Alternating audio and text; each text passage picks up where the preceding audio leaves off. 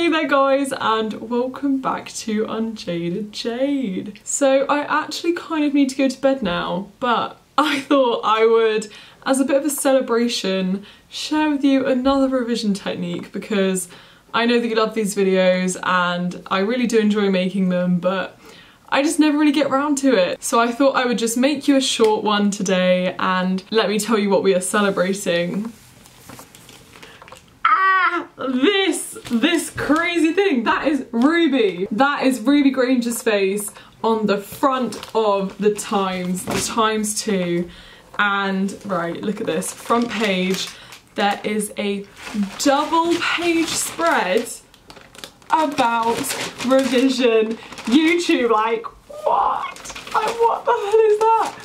There's me, look at me there, looking great.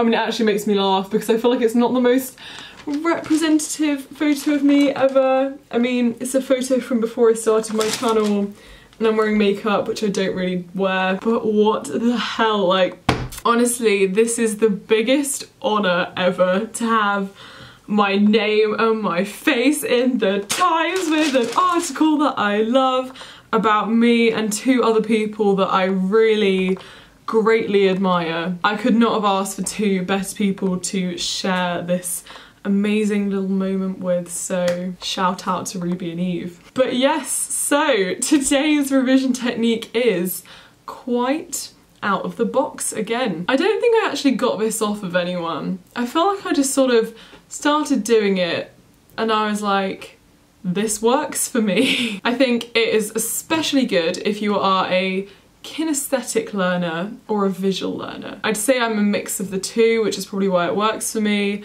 And especially if you're creative, this is one for you. I'd also say it is best for uh, memorizing things or processes in science, but maybe that is biased towards the fact that I do biology and chemistry at A-levels, so it's kind of what I use it for most. But I've also used it to learn maths identities.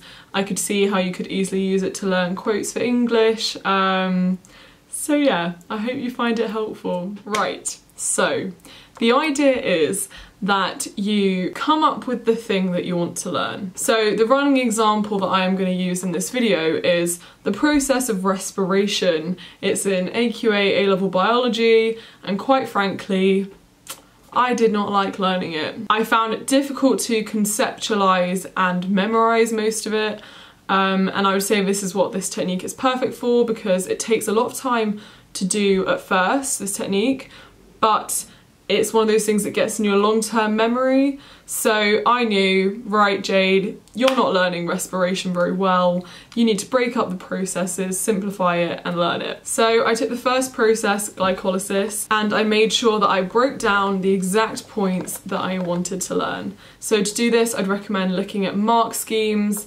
um, I would look in your textbook, look at your specification, because the last thing you want to do is learn and memorize something not to the exact way that you're to get marks for it. So you want to make sure that you're learning it in the best way. And now I'm just to give you a demo of the technique because I feel like it's a really hard one to, to explain and describe, so cue the demo. So first, we have glucose. It's the worst G ever. But okay, so we have glucose. So this is the start of glycolysis, glycolysis, G, we have glucose, easy to remember. Then glucose is phosphorylated.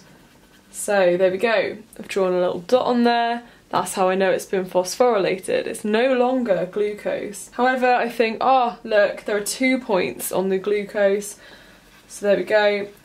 But the fact that there are two phosphates shows it's been phosphorylated twice, and using my classic A-level biology knowledge, I know that it has been phosphorylated by ATP being hydrolyzed to ADP plus PI.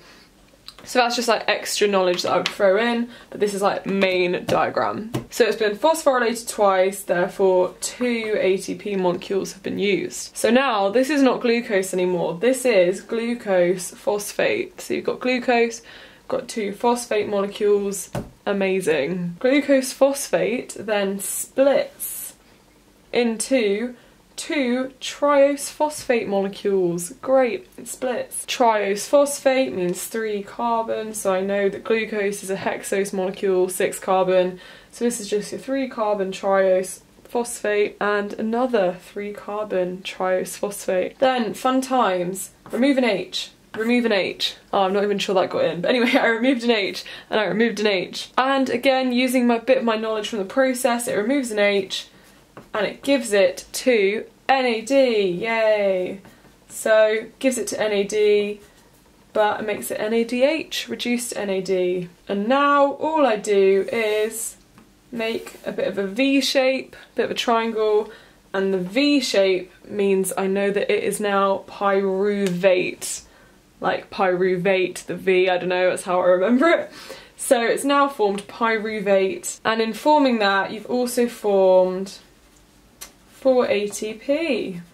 That's it. But then obviously because up here we use 2 ATP, we get 4 ATP, then it's only net 2 ATP made in glycolysis. But yeah, this is just me going through slowly how I remember glycolysis. And now let me do it a few times for you just to show you more quickly how you would do it and how useful it is. So I have glucose at the start of glycolysis.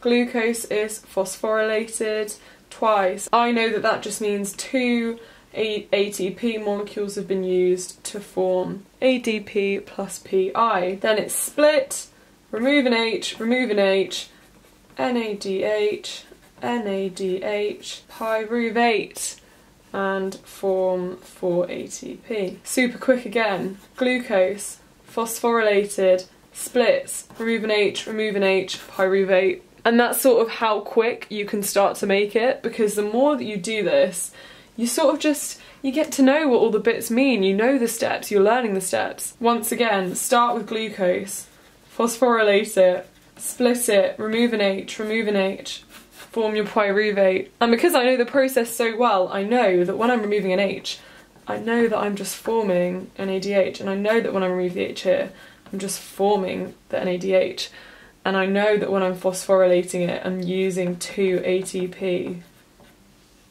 and I know that when I form pyruvate I've got 4 ATP being made. And if you have no idea what glycolysis is, like, who cares, it's fine, don't worry. It's more just using this thing to quickly remember the process. And because you've got two of the triose phosphate bits, you know that there's a pyruvate formed for each one. So sometimes, you know, you could even do that, but oh yeah, pyruvate formed there, pyruvate formed there. Ba-bam. This is really similar to a technique that I have done on my channel before. You can find it up here. I might do a little info thing, um, which was assigning phrases and processes to objects.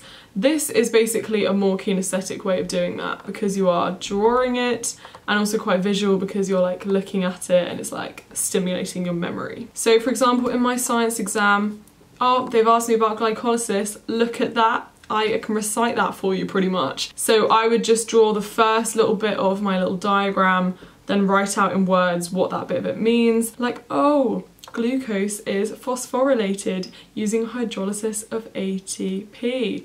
Bam, bam, bam. So I do that little thing, write it out, then add a little bit more, write it out. And I don't know, it's just a great visual way for me of not forgetting bits of a process. As I say, it does come up with time to come up with some weird little creative picture effectively that you'll remember. But just make it simple. Doesn't have to be fancy at all. But the great thing is it will just get in your long-term memory honestly. And it's so quick and easy to test yourself because so for example I have this little flashcard. This is literally just the process of respiration summarized so one day I might be like, oh yeah, I'm just gonna draw this one out and then I'll just draw that out and I'll recite that bit of respiration, easy revision. I've got my little prompts here, I can look back at the diagram if I want to. And it's not a picture of what's going on, it's not a diagram as such, it is just a little memory trigger diagram. So yeah, I really hope this made sense in some way. I feel like it's quite difficult to um, explain I just sort of do it. If you didn't get it, please tell me. Um, I will happily do another little short video explaining it. If you'd like to see it in more context or see more things that I've memorised with it, um, let me know, I'll do that. Um, as I say, this was just a really quick video to give you yet another cheeky little revision technique that you can add to your bag of revision techniques. Oh, and if you hadn't gathered, um, I had um, I had a haircut and I had it straightened and it's sort of on its way out now. My hair's getting a bit greasy, but yeah, fun times. Please hit the like if you would like some more revision technique videos or if you found this helpful in some way. Yeah, thank you so much for watching. I love you lots and good night.